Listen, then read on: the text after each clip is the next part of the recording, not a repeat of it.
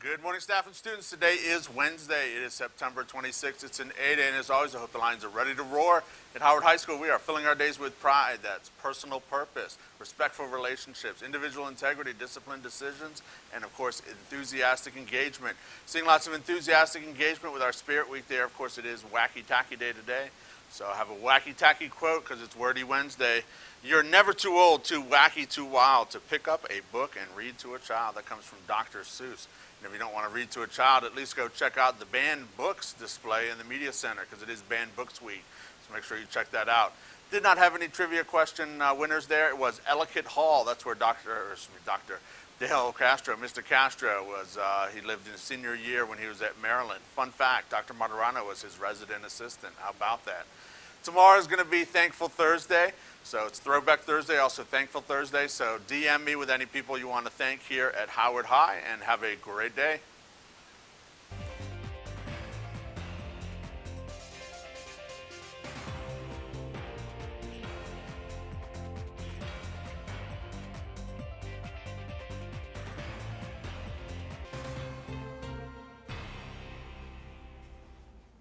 Good morning and welcome to our Wednesday show. I'm Sydney. And I'm Sydney.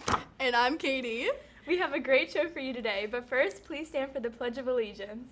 I pledge allegiance to the flag of the United States of America and to the republic for which it stands, one nation, under God, indivisible, with liberty and justice for all.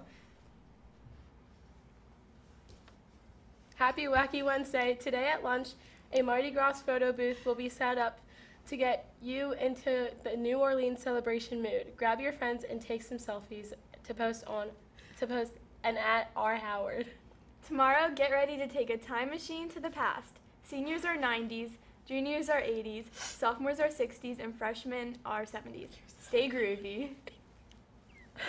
Attention all students, Ping Pong Club will be taking place every Thursday after school in the, in the atrium. All students are welcome and any skill level is welcome to join. The goal of this the goal this Wait Back Club is to have fun, meet new people, and enjoy some friendly ping pong.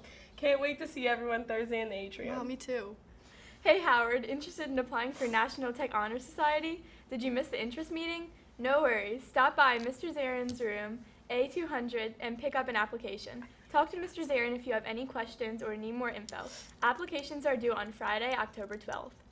The first meeting for the National Art Honor Society will be after school today in room A219.